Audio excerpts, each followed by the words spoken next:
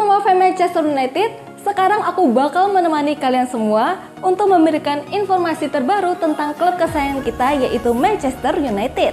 Jangan lupa untuk subscribe channel The Red Devils berita Manchester United terbaru karena setiap Kamisnya kita akan mengadakan giveaway satu jersey bagi subscriber yang beruntung. Dan di 500 ribu subscriber nanti, kita akan membagikan 3 iPhone 11 bagi subscriber yang paling setia.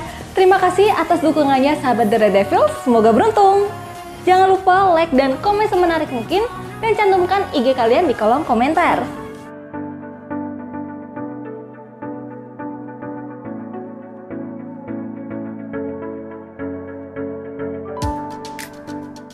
Hasil pertandingan Brighton versus Manchester United.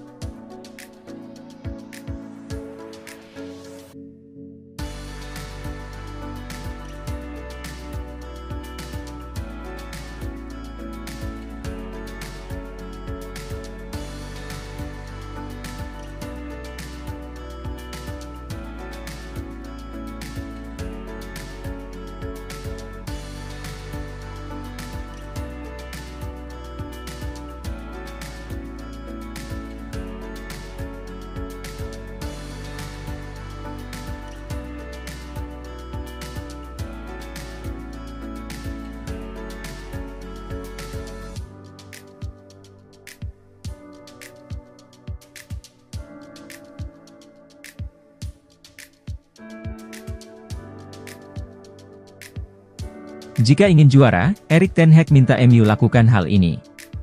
Manajer Manchester United, Erik Ten Hag, mengingatkan timnya untuk menjaga semangat kebersamaan mereka yang mulai terbangun di awal musim ini.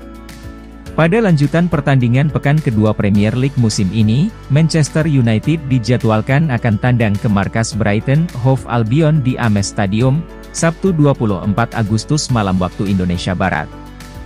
Jelang laga tersebut, Erik Ten Hag mengingatkan pasukannya untuk mempertahankan kebersamaan mereka yang mulai terbangun di awal musim ini. Ten Hag menilai semangat kebersamaan akan membantu setan merah untuk mencapai target yang mereka tetapkan yakni kembali ke jalur juara. Sangat baik bahwa mereka pergi bersama dan makan bersama, tetapi pada akhirnya, hal itu harus berujung pada kebersamaan di atas lapangan, ujar Ten Hag seperti dilansir dari laman resmi klub. Jadi, ya, mereka harus berjuang untuk satu sama lain. Sepak bola adalah olahraga tim. Ini adalah tentang kolaborasi dan, jika Anda mengenal seseorang, Anda bersedia melakukan lebih banyak hal untuknya. Dan ini tentang memiliki mentalitas, untuk bersaing bahu-membahu, berjuang untuk setiap inci, inci demi inci.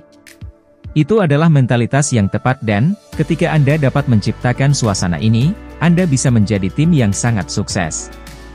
Itulah yang menjadi target kami musim ini, tutup sang manajer. Pada laga ini, Man United memiliki modal yang meyakinkan di mana pada laga pertama Liga Primer musim ini mereka berhasil mengalahkan Fulham dengan skor 1-0 di Old Trafford. Adapun satu-satunya gol kemenangan pada laga itu dicetak oleh Joshua Zirkzee. Erik Ten Hag sentil Jadon Sancho, sudah, terima saja kalau dicadangkan, jangan ngambek. Pemain sayap 24 tahun itu tak masuk skuad MU untuk laga pertama versus Fulham pekan lalu. Setan Merah menyebut alasannya adalah karena sakit. Spekulasi soal masa depan Sancho di MU pun semakin berhembus kencang. Namun, sejauh ini Sancho masih ada di skuad Setan Merah jelang laga kedua versus Brighton. Jelang lawatan ke markas Brighton, Ten Hag mendapat pertanyaan soal apakah Sancho bakal masuk ke skuad. Pria asal Belanda itu menjawab dengan diplomatis. Kita lihat saja nanti, jawab Ten Hag soal pertanyaan tersebut dikutip Tesan. Kami punya skuad. Saya harap kami akan punya skuad dengan posisi ganda dan ketika kami memasuki musim setelah 1 September, itu berarti Anda tidak bisa memilih semua pemain, tetapi Anda membutuhkan mereka semua sepanjang musim. Lebih lanjut, Ten Hag mengingatkan timnya untuk tidak sakit hati dan kesal jika ternyata mereka tak masuk skuad untuk pertandingan MU pilihan sang manajer. Kami harus mengatasinya, sikap para pemain sangat penting, terkadang mereka akan kecewa, mereka harus menghadapinya, tetapi Anda menang sebagai satu tim, tegas Ten Hag. Hadiah akan diputuskan Mei mendatang dan hingga saat itu kami membutuhkan semua pemain dalam tim dan sangat termotivasi, itu bukan ekspektasi, itu tuntutan pada tim. MU cuma batu loncatan, Leni Oro gabung Real Madrid di tahun 2026, Defensa sentral melaporkan bahwa Yoro tidak berminat untuk berkarir lama-lama di Manchester United. Ia dikabarkan akan meninggalkan setan merah dalam kurun waktu dua tahun ke depan. Menurut laporan tersebut, Yoro dikabarkan sudah memiliki perjanjian dengan Real Madrid. Ia dikabarkan masih menaruh hasrat yang besar untuk bergabung dengan Los Blancos. Namun ia menyadari bahwa Real Madrid tidak bisa mendatangkannya di musim panas ini. Alhasil ia dikabarkan berjanji ke manajemen Real Madrid bahwa ia akan pindah ke Los Blancos dua tahun lagi. Laporan itu juga mengklaim bahwa janji Oro untuk pindah ke Real Madrid itu diketahui oleh Manchester United. Bahkan Setan Merah juga punya kesepakatan dengan Yoro mengenai hal tersebut. Ketika ia sepakat pindah ke MU, ia mengajukan beberapa syarat. Salah satunya adalah Manchester United harus melepaskannya jika Real Madrid datang untuk menawarnya. Setelah proses negosiasi, MU dikabarkan sepakat dengan permintaan Euro tersebut. Namun dengan syarat sang back harus minimal dua musim memperkuat setan merah baru ia bisa pindah ke Real Madrid. Euro sendiri saat ini masih belum bisa memperkuat setan merah setidaknya hingga bulan Oktober 2024. Sang back mengalami cedera di bagian metatarsal dan saat ini sedang fokus pada pemulihan cedera tersebut.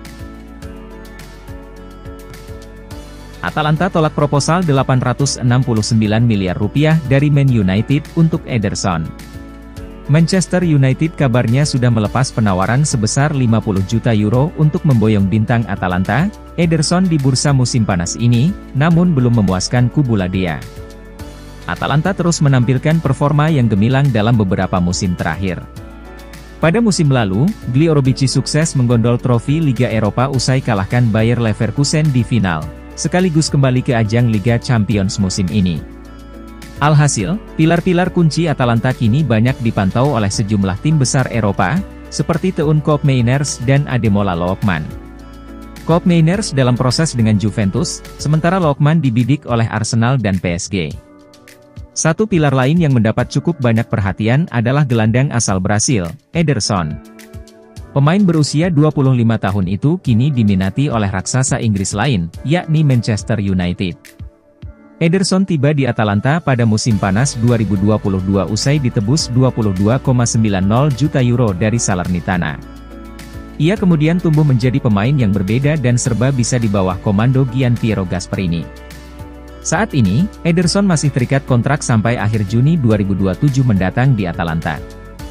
Jurnalis transfer, Alfredo Pedula via Sport Italia melaporkan bahwa Man United sudah melepas tawaran 50 juta euro atau sekitar 869 miliar rupiah pada Atalanta. Tapi, nilai tersebut rupanya belum membuat puas kubu Ladea untuk sekarang. Atalanta juga diklaim sudah menegaskan bahwa Ederson takkan mereka jual dalam waktu dekat. Selain itu, Seri A musim 2024-25 sudah memainkan pekan pertama pada akhir pekan lalu. Ditambah dengan tengah waktu bursa transfer musim panas 2024 yang tinggal kurang dari dua pekan lagi tersisa. Sehingga, akan sulit bagi Atalanta mencari pengganti sepadan walau memiliki dana cukup. Jangan lupa like dan komen semenarik mungkin, dan cantumkan IG kalian di kolom komentar.